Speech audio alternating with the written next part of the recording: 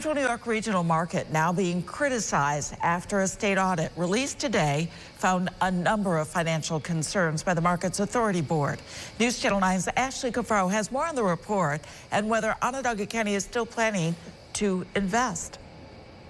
Christy, the state audit blaming the board for poor financial management, citing a number of things. But despite the report, Onondaga County Executive Ryan McMahon says the county still plans on investing. Concerns surrounding the future of the CNY regional market are now growing after a state audit revealed the struggles the board is facing, including operating costs and a number of repairs that need to be done to its facilities.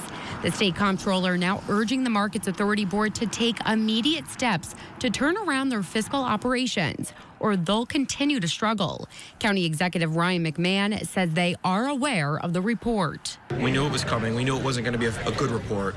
Um, right now, we have a comprehensive plan that we are uh, investing in for what the market needs to be moving forward.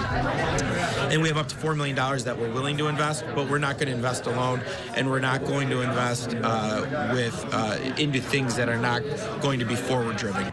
And coming up tonight at 5, we'll tell you some of the recommendations made by auditors and more on the county's investment plan. At the CNY Regional Market, Ashley Cafaro, News Channel 9.